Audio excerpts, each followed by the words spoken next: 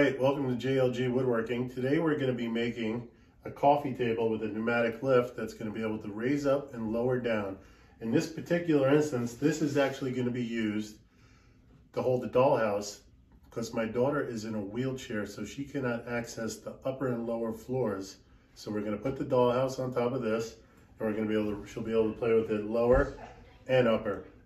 A normal use for this particular piece of furniture is you would use it as a, a coffee table that you can raise for eating at like dinner height. This particular lift, I went ahead and I purchased on Etsy. It holds up to 220 pounds. It comes with a remote control, which raises and lowers it. All right, so without further ado, let's get into the build.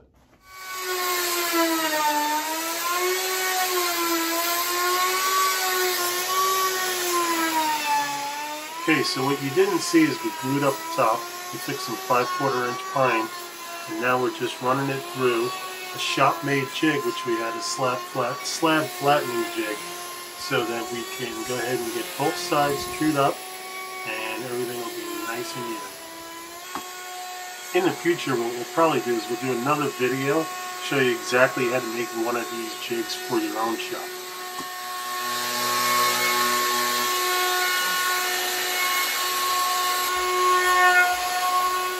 So we're passing the router in both directions. Because when you go just in one direction, you're going to get the lines. Don't worry about it. The flattened bit. When you come back in the other direction, you'll go ahead and get rid of those lines.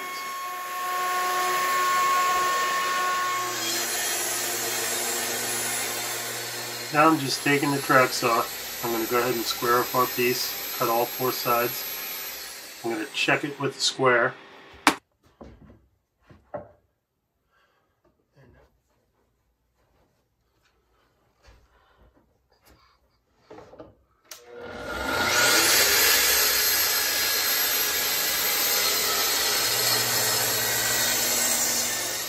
After we got the piece square, we're going to go ahead and grab our sander. I'm not going to show you a lot of this. We're just going to sand the piece, get it nice and smooth. We're sanding up to 180 grit because we're going to be using Rubio Monocoat. Just passing the eighth inch round over bit over on the corners. We're going to do both sides. Gives it a nice clean finished look.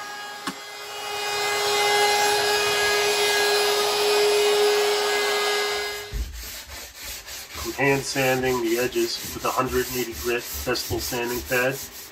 Do this by hand. Try not to do this with the machine. You can round over your round overs.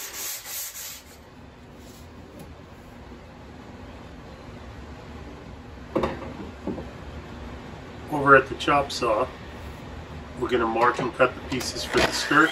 And then we're going to go ahead and we're going to run them through the jointer and the planer.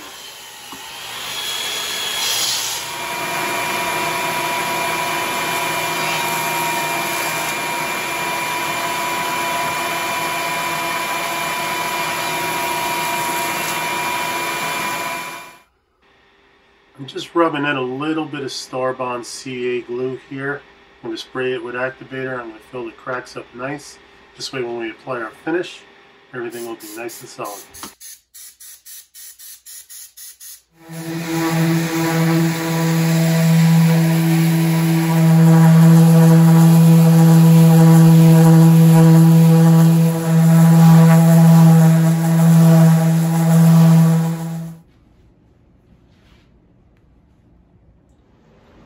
Got the Kreg pocket Foreman. We're going to put the pocket screws to assemble the skirt.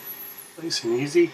Doesn't really need anything else. No one's going to see it. I'm just going to route the butt ends before we assemble because we won't be able to get at these once everything is screwed together.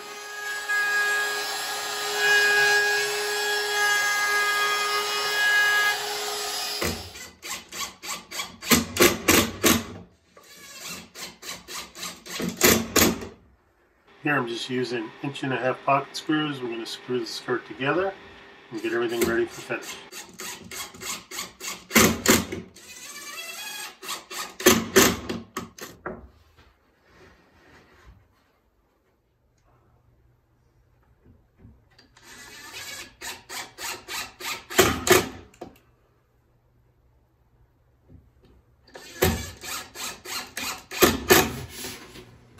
Final step before finishing, we're just going to sand everything down by hand so that we can get ready to put some mineral spirits on.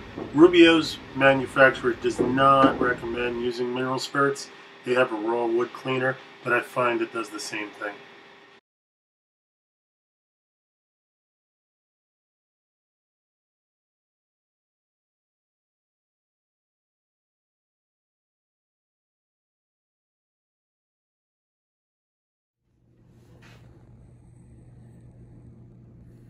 I let the mineral spirits dry overnight.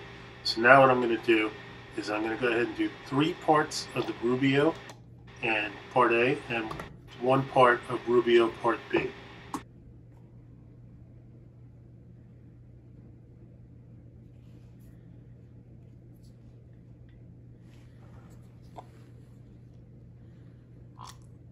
You don't have to use the part B but if you do, you go ahead and stir it up, get everything nice and mixed, and then we're going to spread it out on the piece.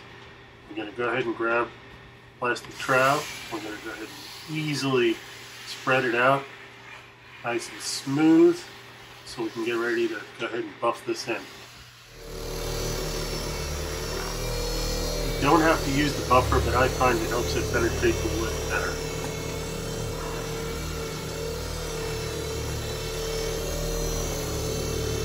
We're going to finish both sides at the same time. Prevents cupping and warping.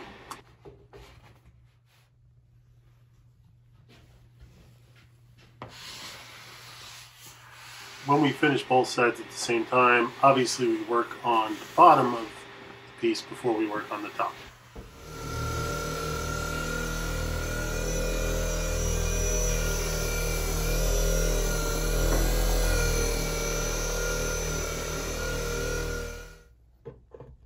So we waited overnight and came back the next day. And now we're attaching our skirt with pocket screws. So there you see the top and the skirt attached. Now I'm just going to unbox the lift. I'm going to go ahead and unpackage it, plug it in, test it out, just make sure everything works.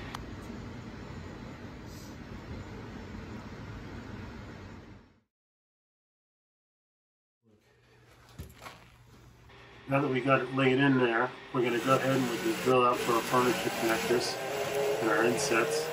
It just makes it easier than having the screw in and out because now we can put it in and take it off whenever we desire.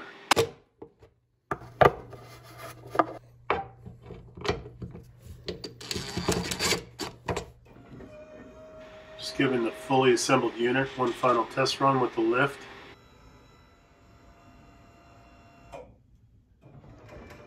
So here you see it in place with the dollhouse on top. We're using the wheelchair as a reference, so we know that she'll be able to access all the floors of the dollhouse. If you like what you see here today, please hit the subscribe button and the like button.